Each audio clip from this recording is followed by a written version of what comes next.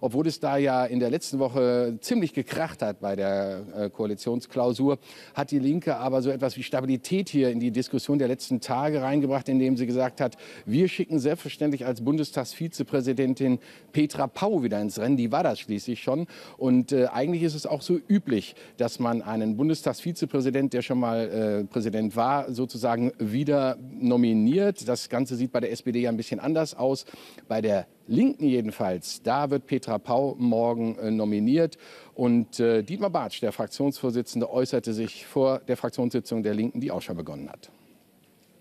Wir haben die Fraktionssitzung, die erste nach der Klausur vorbereitet und vor allen Dingen die morgige konstituierende Sitzung des Deutschen Bundestages. Sie kennen die Entscheidung der Linken, dass wir Petra Pau als Vizepräsidentin vorschlagen. Wir haben ansonsten uns mit den anderen Kandidaten beschäftigt, aber auch da kennen Sie unsere Positionierung zu einem, die wir geschlossen vorgenommen haben, und das ist die des AfD-Kandidaten, den niemand von der Linken morgen wählen wird. Ansonsten spielt natürlich das Thema Regierungsbildung eine entscheidende Rolle. Mit großem Interesse kann man ja zur Kenntnis nehmen, dass es offensichtlich einen Prima Klima Club gibt, der vor allen Dingen sich mit Personalentscheidungen beschäftigt haben mit großem Interesse zur Kenntnis genommen, dass die Grünen einen zweiten Vizekanzler fordern. Finde ich zumindest anspruchsvoll, zumindest wenn man noch gar keine Koalition gebildet hat, aber Posten verteilt. Mit Interesse nehme ich zur Kenntnis, dass der Finanzminister ja unbedingt in FDP-Hand geben muss und, und, und. Ich fordere die Parteien auf, endlich zur Substanz zu kommen. Nicht schöne Balkonbilder anzubieten, sondern das, was die Menschen erwarten, nämlich eine Regierungsbildung und die Widmung, dass sich die Parteien den zentralen Themen in unserem Land widmen, dass das endlich geschieht. Und da ist das Mindeste, das Mindeste, dass man mal einen Zeithorizont festlegt, wann soll die Regierung gebildet werden, wann sollen Ergebnisse vorliegen, damit sowohl die Mitglieder des Bundestages aller Parteien als auch die Menschen in diesem Land etwas mehr Klarheit haben, was denn in den nächsten Jahren geschehen soll. Wir als Linke haben uns natürlich auch dazu verständigt, was wir als erstes in den Deutschen Bundestag einbringen wollen. Natürlich geht es morgen auch um Geschäftsordnungsdinge und Ähnliches, aber wir haben entschieden, dass wir zunächst ein Thema wieder aufrufen, die gesamte Frage des Lobbyismus. Wir wollen ein Gesetz zur Einführung eines verpflichtenden Lobbyregisters vorlegen, damit der Lobbyismus zumindest kenntlich gemacht werden kann weil die Entwicklung der letzten Jahre war hier eine zutiefst unschöne. Wir haben zweitens den Vorschlag, dass das Kooperationsverbot aufgehoben werden soll. Wir hatten ja im Wahlkampf die interessante Situation, dass Sozialdemokraten, Freie Demokraten, Grüne und Linke der Auffassung waren, dass das Kooperationsverbot fallen sollte. Es ist eine gute Gelegenheit, diese Versprechen aus dem Wahlkampf zügig umzusetzen. Zumindest streben wir an, dass es dazu eine schnelle Debatte gibt. Und als drittes wollen wir ein Gesetz zur Stärkung der direkten Demokratie vorlegen, um auch dieses Thema im Deutschen Bundestag und darüber hinaus in der Gesellschaft weiter zu diskutieren.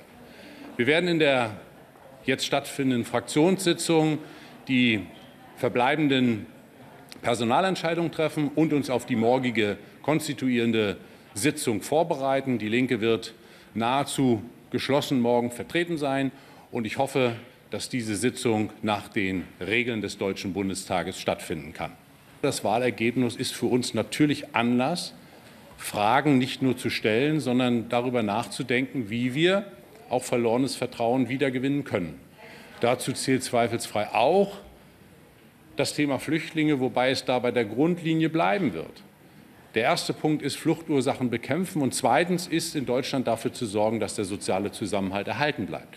Das sind unsere Kernpositionen und wir werden dort weiter debattieren. Aber es gibt im Moment keinerlei Bestrebungen, etwa Beschlusslagen von der vergangenen Fraktion oder der Partei zu verändern. Ja, also das Thema Flüchtlinge ist nicht nur für die Opposition im künftigen Deutschen Bundestag wichtig, sondern natürlich auch für die Koalitionäre. Darüber wird man am Donnerstag in der Runde reden. Aus der Unionsfraktion, die hier nachher auch zusammentreten wird, war schon zu hören, äh, dass der Kompromiss, den man mit der CSU gefunden hat, äh, eine gute Grundlage ist für die Verhandlungen mit FDP und Grünen, dass da ein Einlenken auch offensichtlich von den kleinen Partnern erwartet wird. Aber zunächst redet man ja morgen erst einmal über den Finanzrahmen und das scheint ja auch dringend geboten, wenn man die aktuellen Zahlen und die Forderungen hört. Aber auch das ist für Sondierungs- und Koalitionsveranstaltungen nichts Neues. Das ist alle vier Jahre so, dass am Anfang natürlich die Wünsche genannt werden und man dann irgendwann konstatiert, das wird alles viel zu teuer. Mal sehen, wie das dann weitergeht in dieser Woche. Jedenfalls äh, nachher hier um 18 Uhr als letzte Fraktion tritt die SPD noch mal äh, hier zusammen vor der wichtigen Sitzung morgen der Konstituierung des Deutschen Bundestages. Und bis dahin ist vielleicht auch geklärt, ob Andrea Nahles noch Gesprächsbedarf mit Herrn Glaser hat oder nicht. Jedenfalls hat die SPD auch ein leichtes Problem mit der Frage Bundestagsvizepräsident. Denn bisher war das ja unter anderem für die SPD SPD Ulla Schmidt. Den zweiten Posten, den hat man verloren. Die SPD und die CDU hatten ja in der vergangenen Legislatur zwei solche Posten. Aber Ulla Schmidt ist nicht ausgeschieden, sondern würde gerne wieder diesen Posten bekleiden für die SPD. Und da hat sich plötzlich Christine Lamprecht gemeldet und will diesen Posten auch haben. Sie ist die ausgeschiedene parlamentarische Geschäftsführerin der Sozialdemokraten. Und dann gibt es noch Thomas Oppermann den ehemaligen Fraktionschef. Und hinter dem hat sich die Fraktionsspitze aufgebaut. In einem Brief an die Abgeordneten hat Andrea Nahles äh, diese Entscheidung des Fraktionsvorstandes mitgeteilt, dass man für Thomas Oppermann ist. Übrigens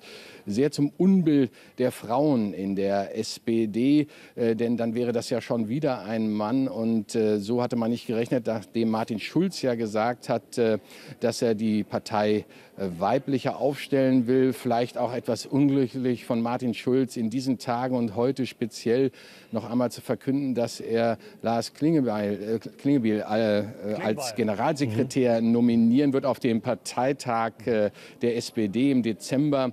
Und äh, Lars Klingbeil, jetzt habe ich es. Und äh, das ist natürlich ein bisschen unglücklich, denn schon wieder ein Mann, der eine wichtige Position bei den Sozialdemokraten versieht. Mal sehen wie die SPD-Frauen da heute Abend drauf reagieren. Da dürfte es tatsächlich zu einer Kampfkandidatur kommen. Aber eins ist unbenommen. Sollte Thomas Oppermann da heute gewählt werden, dann hat er einen breiten Rückhalt, auch hier im Deutschen Bundestag. Denn das muss auch noch mal betont werden. Normalerweise sind die Nominierungen des Bundestagspräsidenten und der Vizepräsidenten so, dass die anderen Fraktionen zwar frei wählen können, aber diese natürlich unterstützen. Aber für alle gilt im ersten Wahlgang über 355 Stimmen die sogenannte Kanzlermehrheit. Und erst im dritten Wahlgang wäre dann die einfache Mehrheit gefordert. Mal sehen, wie das morgen wird. Bei uns können Sie das, wie gesagt, alles verfolgen in der Sondersendung ab 10.30 Uhr. Vorher schon einige schalten hier zur Fraktionsebene, denn äh, mehrere Fraktionen treffen sich noch einmal morgen früh. Nur bei den Grünen gibt es morgen wirklich einen Zählappell. Die anderen verzichten darauf und hoffen darauf, dass das Ganze schon klar geht. 709 Abgeordnete, so groß war der Deutsche Bundestag noch nicht. Und 355 ist auch eine Masse, so groß ist die Kanzlermehrheit, so groß war sie demnach auch noch nicht. Äh, und alle, die morgen gewählt werden wollen, müssen zumindest in den ersten zwei Wahlgängen darüber springen, was dann mit Herrn Glaser passiert, wie es dann weitergeht. Alles morgen hier bei uns und damit zurück nach Bonn zu Hans-Werner Fittkau.